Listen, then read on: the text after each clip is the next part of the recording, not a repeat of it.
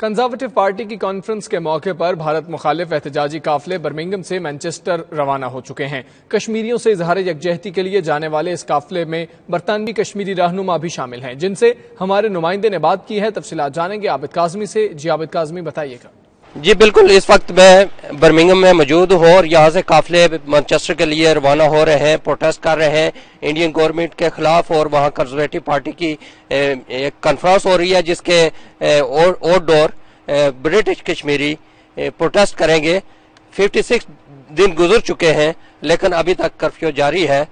اسی سلسلے میں تسلسل سے برٹش کشمیری نے پروٹیسٹ کیا ہے۔ کوئی بھی موقع ہوا کنفرنس ہوئی یا کوئی بھی اہم شخصیات جمع ہوئی اس کے باہر برٹش کشمیریوں نے ہمیشہ احتجاج کیا ہے۔ میرے ساتھ منتظمین شامل ہیں جو ابھی قافلہ لے کر منچسٹر کے لیے روانہ ہو رہے ہیں۔ ان سے پوچھتے ہیں کہ سیاسی کنفرنس ہو رہی ہے اور اس کے سامنے کتنا ایک امپیکٹ ہوگا کشمیر پر یہ پروٹیسٹ فہم کیانی صاحب۔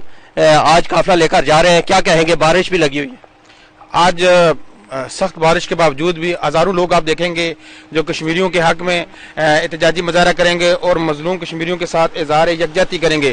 اور میں یہ کہنا چاہتا ہوں کہ ہزاروں لوگ وہاں کھڑے ہو کے کنزرویٹو پارٹی کے باہر کہیں گے کہ بارس جانسن تو امیزون کے جو جنگل میں جب آگ لگتی ہے تو وہاں پر تو سٹینڈ لیتا ہے۔ لیکن جب بات آتی ہے کہ مظلوم کشمیریوں کے حق کی تو وہاں پر وہ بالکل آواز اٹھاتا۔ ہے تو آپ ہی ہم دیکھیں گے، ہم بتائیں گے کہ برطانیہ سیکورٹی کونسل کا پرمنٹ ممبر ہے اور سیکورٹی کونسل نے کشمیر کے حوالے سے ریزولوشن پاس کی اور ابھی تک ان ریزولوشن پہ امپلیمنٹیشن نہیں ہو سکی۔ اور ہم یہ کہنا چاہتے ہیں، ہم کشمیریوں کے پیدائشی اور جائز حق کے ادرادیت کے لیے جو جو جاری رکھیں گے آل سینٹس پارک سے اس مارچ کا آغاز ہوگا اور مانچسٹر رینا پر اس مارچ کا اختتام ہوگا۔ جی بالکل، سردار صاحب، کیا کہیں گے جی آج کا جو مارچ ہے یہ بنیادی طور پر برطانیہ کی حکومت کی توجہ اس جنم مبزول کرانے کے لیے ہے۔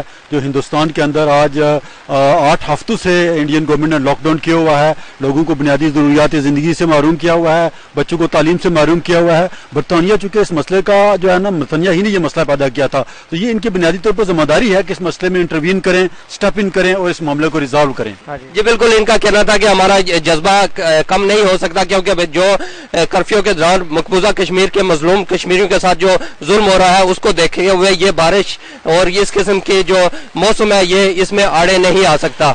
جی۔